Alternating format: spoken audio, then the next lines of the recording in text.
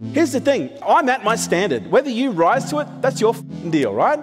But what I am going to do is I'm going to challenge you constantly to raise the standard because your life right now in every single area is nothing more than a demonstration of what you're willing to tolerate.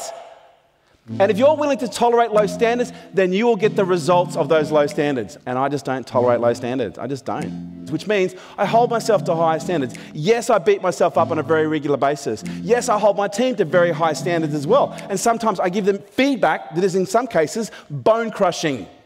But I do it at the right time, in the right way, in the right context to ensure that I build resilience versus crushing a spirit. Because I'm not here to baby you to in success because you can lead a horse to water, but you can't make the mother drink. Everything in your life right now is a reflection of your standards. And your standards are nothing more than a reflection of what you think is possible or what you believe, but most importantly, what you're willing to tolerate. So, Kerwin, are you saying that I should become intolerable? Yeah, I am actually.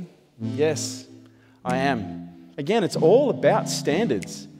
And people let the standards slip when they think no one is watching. So, my question to you is how would you live if your psychology was, I am being watched by the entire world 24 hours a day?